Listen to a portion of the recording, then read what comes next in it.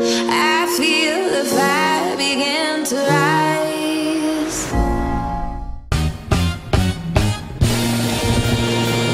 There are 178 laws that differentiate on the basis of sex.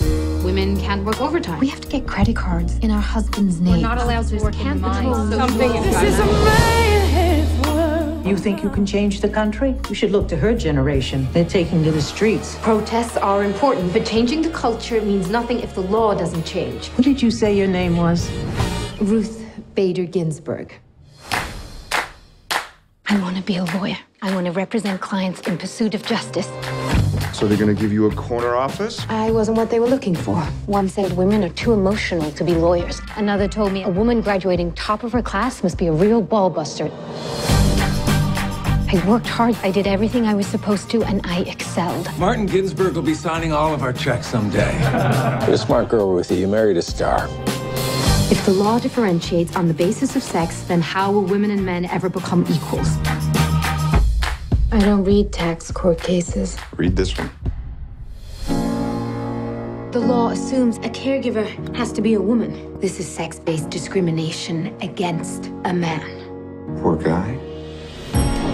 We need to take this case. This is not a case. This is a declaration of war. It could topple the whole damn system of discrimination.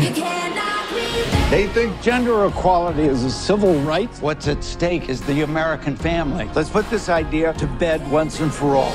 You will lose. And when you do, you will set the women's movement back 10 years. You don't get to tell me when to quit. I know this case disrupted our lives. Who's it for, if not for me?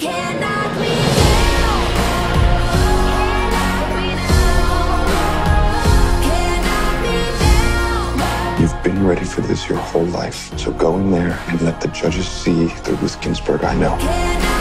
We're not asking you to change the country. That's already happened without any court's permission.